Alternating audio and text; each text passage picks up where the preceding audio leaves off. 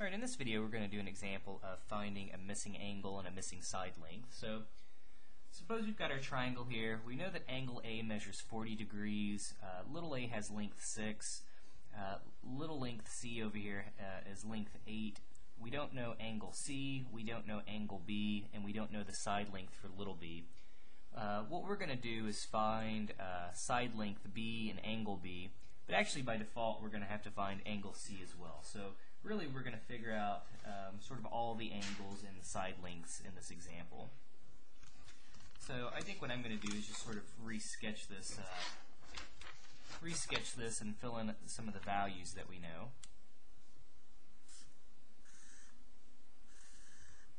So let's see, angle A, that was 40 degrees. Uh, little a, that was given to us as uh, a length of 6. Uh, side length C, we said that's 8, so obviously not quite to scale here. Um, and I think that's pretty much all that we're given. So we don't know angle B, we don't know angle C, and we don't know little b. But what I'm going to do is um, I'm going to use the law of sines to figure out angle C. From that, uh, since we know all the angles add up to 180, I'll, I'll be able to find the value for angle B. And then again, I'll be able to use the law of sines and figure out the value for little b. Okay, so I'm going to take a sine of 40 degrees over 6. That would equal sine of c, which we don't know, over 8. Alright, well, what I'm going to do is simply uh, multiply here both sides by 8. So we'll get 8 over 6, or 4 over 3, uh, sine of 40 degrees equals sine of c. So let's see, uh, sine of 40 degrees. So let's see, sine of 40 degrees. I'm going to round that off and make that 0.643. Okay, so 0.643, if we multiply that by 4 and then divide that by 3, do this one more time, 0.643 times 4 divided by 3, um, I'm going to round this off here a little bit. I'm getting 4 thirds uh, times 0.643. I'm getting this to be roughly 0.857. So that's going to be sine of c. And now simply to solve for c, we'll just take inverse sine of both sides. And that'll just leave me with my angle c. So let's see, 0.857.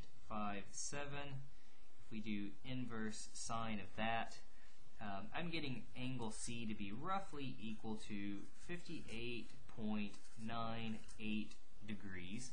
And I think I'm simply going to go ahead and round that off to, we'll say that's uh, 60 degrees in this case. Okay, so, well, that's nice. We now know that angle C is uh, 60 degrees.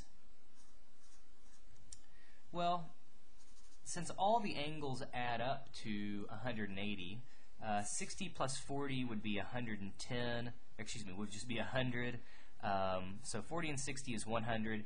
So that means by default angle B would have to have a value of 80 degrees. So now they all add up to 180.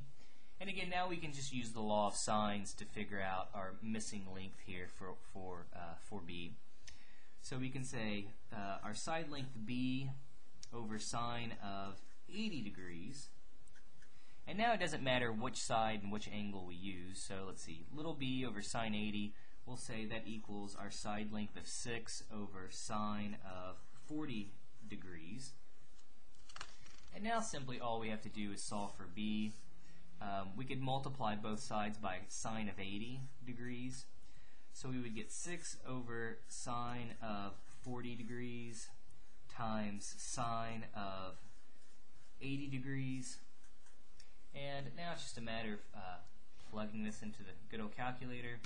So we would have 6 over, we already said sine of 40 degrees. Uh, we said sine of 40 degrees was 0.643, so I'll make use of that. Let's see, sine of 80 degrees.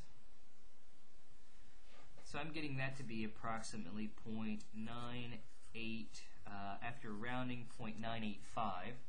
So I'm going to take 0.985, I'll multiply that by 6, I'll divide that by 0.643, And I'm getting our side length B here to be 9.19